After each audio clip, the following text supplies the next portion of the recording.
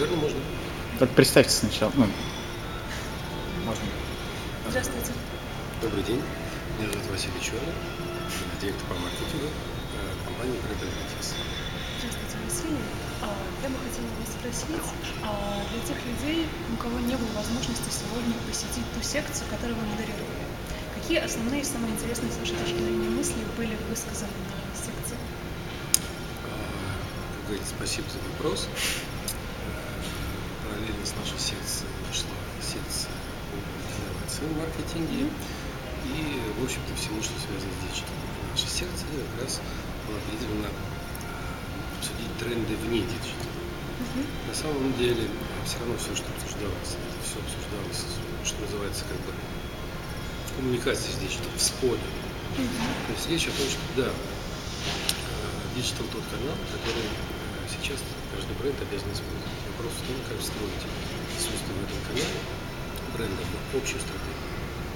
То есть основной лейтмотив был а, как не опуститься до сиюминутной digital активности, не забывать о стратегическом видении, о коммуникационной стратегии, об истории бренда, а, о, собственно, о самом брендинге, и как это совместить стратегическое видение с digital ом.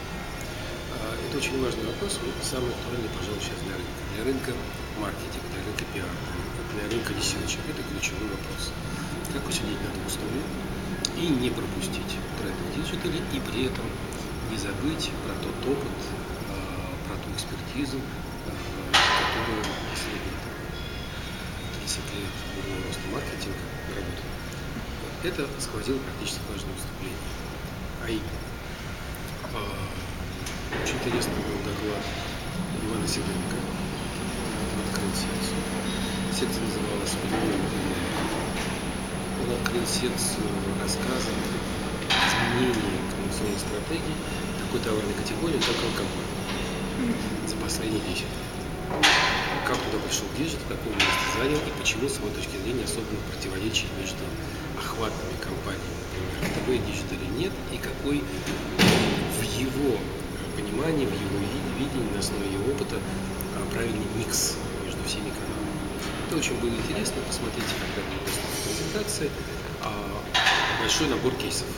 Почитайте, и не просто кейсы, а еще и самые конкретные рекомендации на основе их опыта, чтобы они советовали, что делал там маркетинг, ну и всякие другие вещи. Это было открытие. Дальше было очень интересное выступление на схожую тему а, руководителя агентства медийного Тота Медиа Натальи, которая рассказывала вот об этих трендах в медиамиксе. А, Когда такие массовые бренды, как автопроизводители, как они сейчас а, очень осторожно экспериментируют а, с уменьшением доли своего размещения в телевизоре, перенося некоторый бюджет в диджитал. Но ни в коем случае не оставляют мысли о ТВ. Вот это вот метание, поиск новых подходов, правильного микса, куда а, значит, бюджет отдать, это, собственно, вот есть основная идея рынка. Она в данном случае рассказана с точки зрения видения медийного агентства, а, тоже на очень интересном а, кейсе, связанном с Peugeot. В данном случае Peugeot ориентировали свою рекламную стратегию на молодежь 20-40 лет. Казалось бы, это аудитория, которая, может быть, даже и дешевле найти в и можно даже отказаться от этого. Почему все-таки это не произошло? Посмотрите ее презентацию, это очень интересно. А следующая интересная презентация э, была э, Дениса Шлясова. Это компания сооснователь. И он тоже говорил как раз сиюминутности диджитала, о том, что тренд диджитала э, не дает нам возможности понимать нашей стратегии. Э, Я ему задал вопрос, как бренду напоминать, потому что стратегические видения маркетинга, это всегда все равно должно быть в основе. И вот этот вот вопрос, какими словами, такими кейсами, такими подходами э, их агентства продолжали привлекать внимание бренда для того, чтобы бренды не забывали о разработке инновационной стратегии, о том, что первичный различный один из Вот его интересный был рассказ именно. А, так, так, так. Кого я не забыл? Наверное, да? То есть, по сути, а, основная мысль, конфликт сессии в том, что а, бренды и компании очень сильно увлекаются интернет-инструментами и забывают о стратегии. Забывают они и отвлекаются. Ну, есть, да, есть такая некоторая конфликтная ситуация, мы ее видим в очень разных подходах, да, есть такая конфликтная ситуация. А, в первой сессии, которая была до сессии, которую мы провели вы, а, одна такой теме, как agile marketing, то есть а, быстрый гибкий маркетинг, маркетинг времени. И, в общем-то,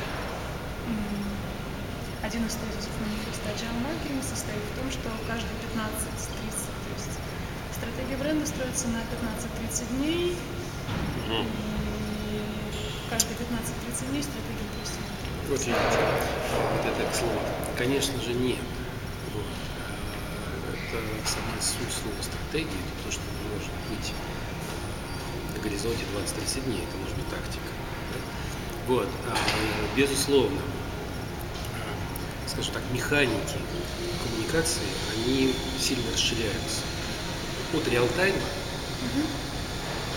бренд э, какие 20-30 дней, иногда, так сказать, все гораздо оперативнее происходит в часы. Вот. Поэтому реал-тайм маркетинг это уже такое понятие, которое не надо никому объяснять, но уже как бы, ну, реал-тайм маркетинг.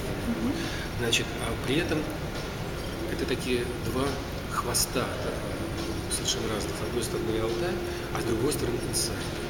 Это то, что э, бренды всегда очень любили, для чего, собственно, заказывали маркетинговые исследования, для поиска инсайтов, чтобы как-то изменить свой товар, свою стратегию, что-то изменить и выйти на какой-то уровень. Так вот сейчас возможности инсайтов тоже расширились.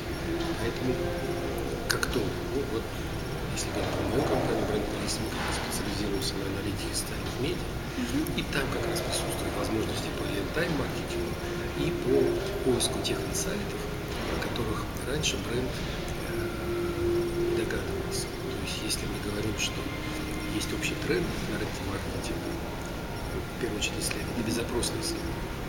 Если раньше для того, чтобы что-то узнать о потребителе, от потребителя, приходилось задавать ему вопросы, фокус-группе, Без да, да, то сейчас как бы основным трендом именно research, research обязательно, потому что